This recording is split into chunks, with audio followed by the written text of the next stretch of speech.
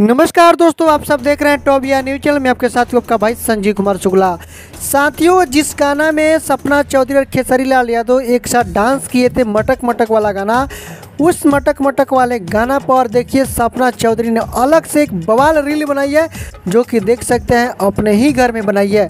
साथियों, जब मटक मटक गाना डिलीट हो गया, उसके बाद जैसे ही फिर से दोबारा से रिलीज़ किया गया, तब इतना ना तबाही मचा दिया, इतना ना गर्दा उड़ा दिया, जो विरोधी इसको डिलीट करवाए थे, उनको तो ऐसा धाका लगा, ऐसा धाका लगा, जो सपने में नहीं सोचे थे।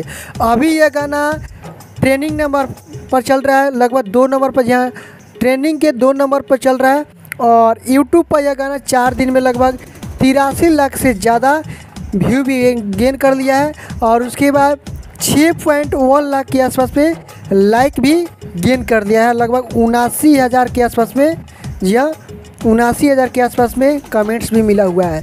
तो चार दिन के अंदर में यह गाना इतना बवाल हो गया जो विरोधी नहीं सोचे थे। तो साथियों अपडेट था, आप सबको कैसा लगा? हमें कमेंट बॉक्स में ज़रूरत देगा तो साथियों, फिर से मिलते एक नए लेटेस्ट अपडेट के साथ। तब तक के लिए टेक केयर बाय बाय